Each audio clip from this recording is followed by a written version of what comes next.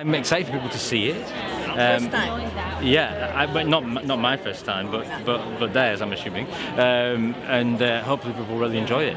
Are you here with family? No, not this. No, not this time. I'm not. I've got some friends here So why do you think Tolkien is still relevant because I feel like his themes are so universal, um, and um, you know, he's, in his legendarium, he's, he's constantly trying to bring forth themes like nature.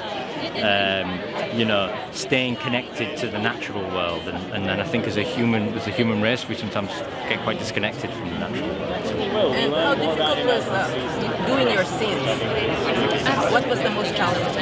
Well, we, me and me and uh, Owen do a lot of um, scale work, which is making me look very tall and you know much taller than Owen, and so it was challenging sometimes because some of it was sometimes it was very technical, um, but most times it was quite practical and we could stay in the sets that we were working on, and I'd usually be stood on a ladder and Owen would be on a stool. You know.